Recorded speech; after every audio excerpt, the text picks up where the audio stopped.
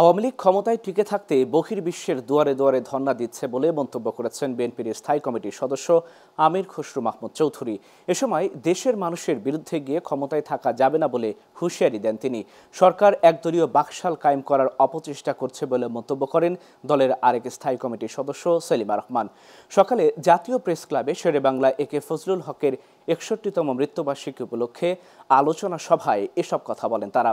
দেলার হোসেনের প্রতিবেদনে বিস্তারিত। সকালে জাতীয় প্রেস ক্লাবে শেরে বাংলার মৃত্যুবার্ষিকী উপলক্ষে আলোচনা সভার আয়োজন করে শেরে বাংলা জাতীয় যুব স্মৃতি ফাউন্ডেশন। আলোচনায় অংশ নেন বিএনপি স্থায়ী কমিটির সদস্য আমির খসরু, মাহমুদ চৌধুরী ও সেলিমা রহমান।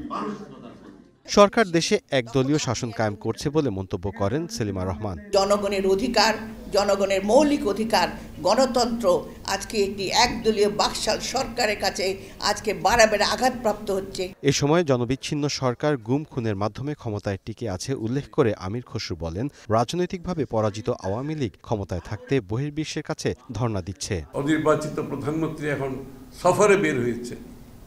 এটা তার কিছু না এটা হচ্ছে রাজনৈতিকভাবে সম্পূর্ণ পরাজিত হয়ে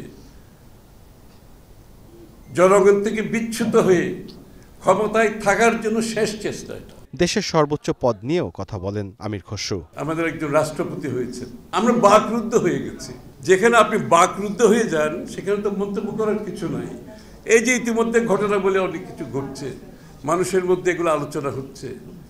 যেই সম্মানের জায়গাটা সবচেয়ে বেশি সম্মানের জায়গাটা যদি আজকে প্রশ্নবিদ্ধ হয় তাহলে আপনি কি করবেন? এখন আর বহির্বিশ্ব নয় দেশের মানুষই আওয়ামী লীগকে প্রত্যাখ্যান করবে বলেও মন্তব্য করেন তিনি। বিদেশি স্যাংশন নয় দেশের মানুষ তো স্যাংশন দেবে। Delwar Hossain global television